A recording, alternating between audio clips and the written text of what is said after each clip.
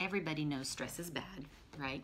But people don't usually understand the impact stress has in our bodies, like where it acts and what it causes in our body. And stress, I would venture to say that it is the greatest leverage point for your health above diet and above exercise. Really, stress management is crucial, and it unfortunately, I see a lot of resistance, not resistance, but just people just blowing it off. Like, nah, yeah, yeah, I'm stressed, but I'm just like that. It it really does improve your health if you work on it, and it's it's if if your diet is on point, great. If your exercise is on point, awesome. But if you're stressed, you're still going to go through all of this that I'm going to talk about. So let's first understand that the body does not um, differentiate acute stress like a war, like a car accident, like a fight, from chronic stress, from work, from family, relationships, okay? So the response that the body gives you is adequate. It's to protect you. So how does it respond? So when you're when it senses that you're in danger, it's going to dilate your pupils so you can see better. Um, it's going to make your heart beat faster so that you can get blood to your muscles and make you run faster and better. Um, your, your glucose goes up because you need more fuels to your cells. Um, your triglycerides go up for the same reason. Your proteins are broken down, unfortunately, from your muscles to give you more energy as well. They become glucose. Um, what else happens? This the blood gets thicker, so that if you cut your arm or somebody bites you or an animal bites you or something, you don't bleed out. So all that is to protect you, correct? And then all the blood that is here in your GI tract gets shunted out. Obviously, it's not time to digest anything. It's time for you to run. So it goes back, you know, the blood is diverted to your heart, to your brain, and to your muscles. So all that is the acute response to stress. The thing is, your body can't shut it down if it's all if you're in chronic stress. And since it doesn't know how to respond to chronic stress, it responds just like it would with acute stress. So, long term stress with a lot of adrenaline, with a lot of cortisol, will cause you to gain visceral fat. So, it will deposit fat over here. It'll make you lose your lean body mass because it's going to be catabolic. It's going to prevent you from gaining muscle mass. Um, it's going to disrupt your sleep. It's going to um, get you diabetic or even or maybe pre-diabetic because your glucose is always going to be elevated your body is always going to be responding with more and more insulin and you know that a lot of insulin um, causes damage to your arteries and nerves and stuff like that so um, it also changes your microbiota. This blows my mind. So, the cortisol, excess stress, both adrenaline and cortisol, will kill the good guys, bifidobacterium and lactobacillus, and will promote the growth of the bad guys, gram negative bacteria, um, that are Yersinia and Pseudomonas. And they um, have this thing called uh, lipopolysaccharides it's, on their cell membrane, um, and that's very toxic to the body. It's called endotoxemia, and your body ramps up inflammation when it sees that. It can even ramp up autoimmunity when it sees that in your blood. It'll decrease your T3, which is your active uh, thyroid hormone in the cells, making your uh, metabolism slower, so making you gain weight that way as well and even feeling more fatigued too when you have very low T3 you're kind of sluggish. And it and it ramps up your reverse T3 which is like a hibernation hormone. So it puts you in um, a low low metabolic meaning you're going to be burning very few calories. And so anything you eat will make you fat. Um, it will shrink your hippocampus and this is very important for you to know. The hippocampus is the area where we store our memories. We retrieve our memories and high stress has been correlated with very high risk of dementia, not only Alzheimer's, but just regular your plain old dementia. So this is very important. It will put your immune system down too because it's diverting all the energy and all the nutrients from your immune system. So you get more prone to getting infections, getting sick, not recovering well from whatever sickness you have.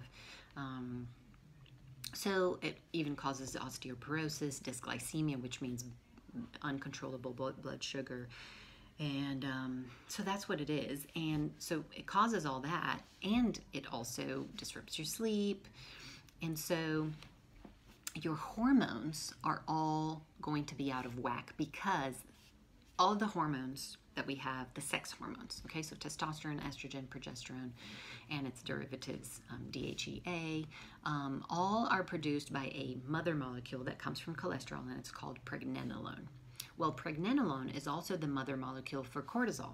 If you're constantly needing to make more cortisol because your body thinks that you're in fight or flight, all the pregnenolone is shunted down to make cortisol and there is no not enough left to make your sex hormones and your androgens and all that. So your hormones get all out of whack just because of stress. So that's why i say when you move your stress when you manage your stress um, it's a great it's, it's a great leverage point for your health.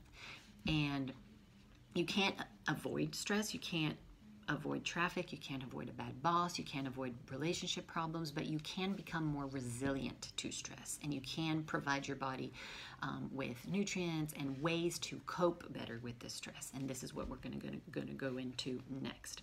So, the first thing is for you to know your purpose. So, people that have purpose are less stressed because they have a purpose, right? They have a reason to get out of bed and they have something that drives them and they have that calmness that comes um, from believing that they're here on purpose, not just going through the motions. Um, so you do want to have one, at least one stress management technique, even if you're not a very nervous, anxious, you're under stress. Have a a technique that you use every day, and it can be anything that works for you. Things that have been studied was um, journaling, singing, humming, breath work, meditation. You know the gist. Just choose one and do one really doesn't have to be a lot. Just five minutes a day would be great. Amazing.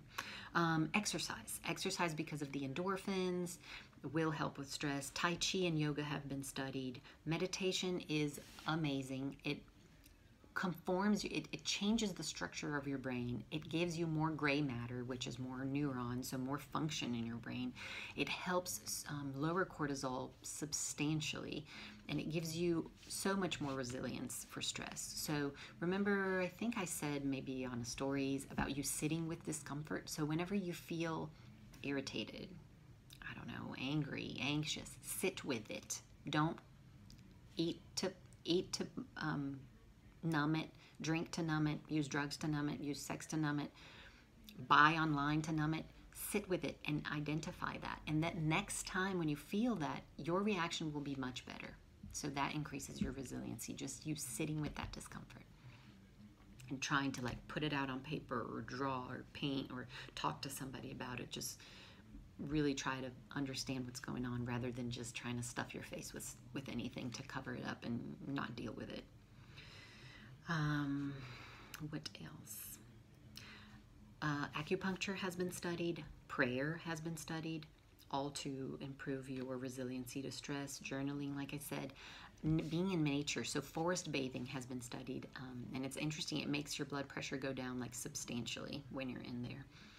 Uh, grounding, so having being barefoot on a natural soil, so grass, earth, sand um, contemplation of nature, contemplation of a sunset, a mountain, anything outside in nature, and being mindful of that, of course, not just looking and thinking about work, but being mindful of everything you do. So when you're brushing your teeth, try to focus on brushing your teeth and not your shopping list. When you're taking a shower, really feel the water, smell the smells, feel the temperature. And that is what mindfulness is. It doesn't have to be any esoteric thing, it's just being present in the moment. So, you know, feeling this desk right here, feeling that I'm talking to you, and all this is very is being present in the moment. Um, and then in the nutrition part, you can supplement your body with vitamin C because your adrenals have a very high content of vitamin C and it deplete and it uses up a lot of vitamin C to produce cholesterol when it's very stressed. So giving your body enough vitamin C, even supplementing with vitamin C, a lot of antioxidants, so those beautiful colors, the oranges, the purples, the reds, the greens, having a lot of that in your diet will help counteract the effects of stress, which causes oxidation and aging. So you don't want that. Um, B complex, excuse me, B complex vitamins. So they are just cofactors for everything in your body. So you really need those, and you deplete those more when you're stressed. So having a good complex B. Um, magnesium is the relaxation mineral. So Epsom salt baths, but also magnesium pills can help in moments of a lot of stress. We deplete magnesium a lot when we're stressed. Um, essential oils, lavender, myrrh, and chamomile will help. Lavender has been studied even in like ICUs and stuff like that to reduce cortisol and help people heal better. Um, teas that are very good are passiflora, um, lavender, chamomile, and ashwagandha teas, tulsi tea as well. So then ashwagandha um, and, and tulsi brings me to the next topic, which is the adaptogens. So adaptogens are substances that balance and restore um, your hormones. So if it's too high, it brings it down to a middle, but it also if it's too low, it kind of brings it up. So it modulates. It just not does, you know, up or down. And this is ashwagandha, rhodiola rosa, holy basil, which is the tulsi, panax ginseng, maca, maca, maca, yeah, maca, um, cocoa, even cocoa. 40 grams of cocoa, three little, two little squares per day, and that helps as well. It has to be dark though, over 70% cacao content. Um, so these are the plants that will help. And then finally, I would like to say that belonging to a group and asking for help and having support in a community, it doesn't have to be family. Um, we know that we don't choose family, and sometimes people don't have the best support system in their family, but you can have friends and community and church people and and really being uh, open to asking for help. And this is a topic that is difficult for me because I like helping others, but I don't really. I feel uncomfortable. I feel like I'm bothering. It's not something like very um, proud or anything of me. It's just that I feel like I'm bothering people. But learning to ask for help, you know, asking somebody to go take care of your kids for you for a little bit, um, ask somebody to come and cook you a meal or come and help you clean the house or help you do an errand, anything. But ask for help and, and, try to belong to a tribe because that has been shown. The blue zones are famous for the longevity and the health, but um, a common factor of that is being in community and having people to lean on and not carry the burden yourself. So this is what I had for you today. I hope you consider this and really analyze if in your in your life you are stressed and kind of not dealing with it just incorporate one try one. Try it, try it for like a week and see if it gets better. And if you, if I could pick one to ask you to try I think it would be meditation because it, the studies are just amazing on meditation. You can PubMed it and and read to your pleasure if you would like but um, trust me it's it's been it's very effective. So that was it